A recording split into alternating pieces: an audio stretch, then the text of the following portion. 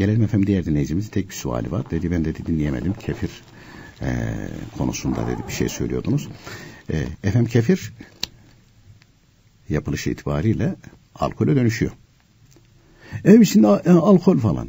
Hanefi mezhebinde e,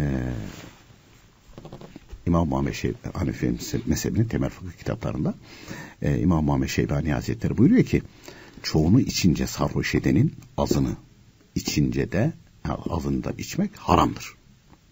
Hüküm İmam Muhammed Şeyb fetva İmam Muhammed Şeybani Hazretleri'nin kavline göredir. Bitti. Fetva verilmiştir. Efendim şimdiki efendim işte biz işte şuna baktık da şöyle yaptık da falan. Bunlar fetvasına güvenilmez. Bunların de fetva denmez zaten. Bu zamanımızda söyleyenlere. Hanefi fıkıh kitaplarında açık net İmam Azam İbni Hazretleri'nin, İmam Ebu Yusuf Hazretleri'nde, İmam Züfer Hazretleri'nde o konuda iştihadı var. Ama üçüncü derecedeki müştehitler, üçüncü derecede müştehit olman lazım. Şimdi yok öyle bir müştehit yok zaten. E, dolayısıyla tercih bildirilmiştir. E, peki efendim kefirin içerisinde binde bir de olsa, binde iki, binde beş de olsa ne kadar olursa olsun. Yüzde değil bakın binde bile olsa e, aynı şey gibidir. Bir gibidir. Haramdır. Ama efendim şöyle faydası var. E, İslamiyet'in yasak ettiği şeylerin faydası yok mu? Alkolün hiç faydası yok. Olur mu öyle şey ya? Onun da kendisine göre ama zararı daha çok. Zararı olmasa bile Allah Teala yasak etmişti. Bitti o iş. Arslan eti, kaplan eti. Ya Allah Teala yasak etmiş. Onlar yemeği yasak etmiş. Koyunu, keçiyi, sığır, deveri serbest bırakmış. Dağda yaşayan vahşi olanlar içerisinde geyiğinkini serbest bırakıyor ama kurdunkini izin vermiyor. Arslanınkine izin vermiyor. Onlar yasak etmiş. Hükmü koyan o. Dünya e, onun mülkü. Dolayısıyla e,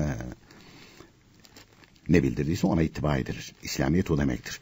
Efendim e, hiç mi kullanılmaz? Ancak Müslüman mütehassıs bir tabip. Müslüman olacak, mütehassıs olacak, din gayret olacak bir kere. Dinini sevecek ve kayıracak. Din hükümlerini bilecek ve kendi mesleğinde de mütehassıs olacak. Bütün ilaçları denedi. Öyle bir hastalık ki kefirden başka ona ilaç yok. Ha o zaman o kimse bunu kullanabilir. Efendim bizim komşu dedi işte ben içtim çok faydasını gördüm. Ya ona kalacak olursan aynı şekilde. Ee, ben de böbrek taşı vardı bir ara. Aa bira çok iyi geliyor diye kaç defa içecektim. Etüsena edenler var. Yakınlarımdan bile söyleyenler var. Düşürür diye. Bira. Halbuki e, okumu o taşı düşürecek bir sürü ilaçlar var. Başka şeyleri de var.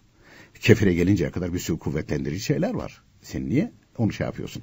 Dolayısıyla buna başlarsın. Sen evde de imal etsen, nerede yaparsan bir müddet sonra bu seni kesmez. Bireye başlarsın, bir ada kesmez, viski içmeye başlarsın. Kademeli şekilde gider onlardan.